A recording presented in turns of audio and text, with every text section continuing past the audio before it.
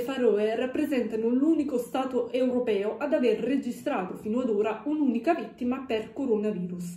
Indubbiamente gioca un ruolo strategico fondamentale l'adozione del piano predisposto dallo Stato per il contenimento dell'epidemia, ma non solo, pare che il segreto di questo successo straordinario sia rappresentato proprio dal salmone, o meglio dal sistema di ricerca legato a questo animale. Il salmone rappresenta un bene prezioso per l'economia del, dell'arcipelago ed è proprio per questo che lo Stato predispone tutti gli strumenti opportuni per salvaguardare l'animale da virus che potrebbero risultare offensivi per la, per la salute del salmone.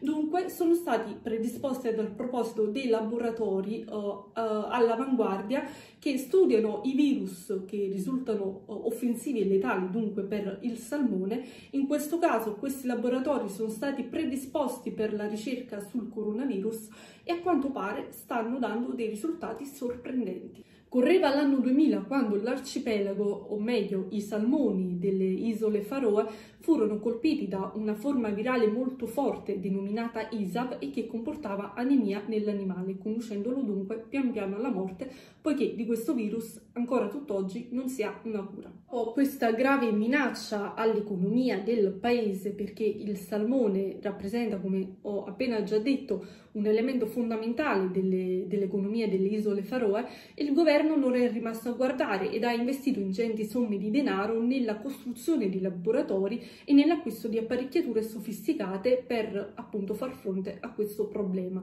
Oggi rivelandosi prodigioso anche per gli abitanti dell'isola che a quanto pare risultano essere immuni dal coronavirus. Vi ricordo di continuare a seguirmi sul sito www.lanotteonline.it e di continuare a scrivermi all'indirizzo redazione.lanotte.gmail.com io vi aspetto in tanti, aspetto le segnalazioni, i vostri argomenti da poter trattare insieme e argomentare come sempre ogni martedì ed ogni venerdì qui nella rubrica L'opinione. Grazie ancora e iscrivetevi al canale YouTube.